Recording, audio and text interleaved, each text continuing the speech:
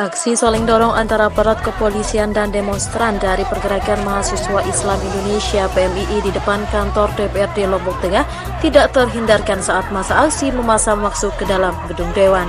Aksi ini dilakukan lantaran para anggota dewan tak kunjung menemui mereka saat melakukan aksi demo menolak Undang-Undang Cipta Kerja di kantor DPRD Kabupaten Lombok Tengah. Sebagai bentuk protes atas pengesahan Undang-Undang Cipta Kerja, mahasiswa membakar keranda dan melakukan sholat jenazah di depan kantor sebagai bentuk matinya hati nurani para anggota dewan.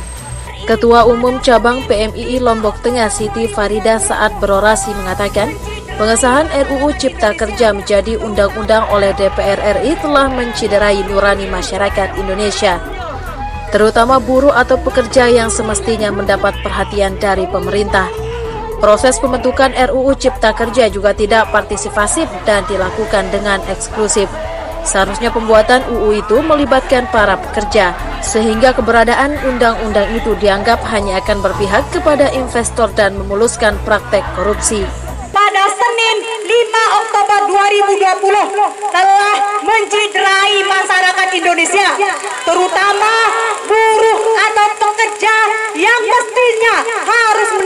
perhatian lebih dari pemerintah dan Dewan Perwakilan Rakyat kita. Setelah sekian lama berorasi di depan gedung DPRD Lombok Tengah, sejumlah anggota DPRD Lombok Tengah akhirnya menemui masa aksi untuk menyerap aspirasi yang disampaikan. Adapun terhadap tuntutan penolakan Omnibus Law Undang-Undang Cipta Kerja yang menjadi tuntutan mahasiswa selanjutnya ditindaklanjuti dengan penolak DPRD Lombok Tengah terhadap Undang-Undang Cipta Kerja. Sangat baik ini kami perintahkan saudara Sekdan DPRD Kabupaten Lombok untuk membuat surat detik ini pun juga kepada Presiden Republik Indonesia. Izin adik-adik.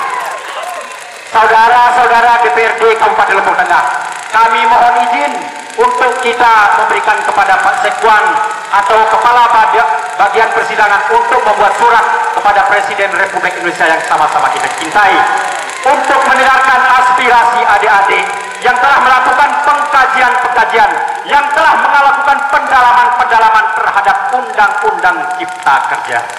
Usai mendengar penjelasan DPRD Lombok Tengah, masa aksi kemudian membubarkan diri. Dari Lombok Tengah, tim GTV melaporkan.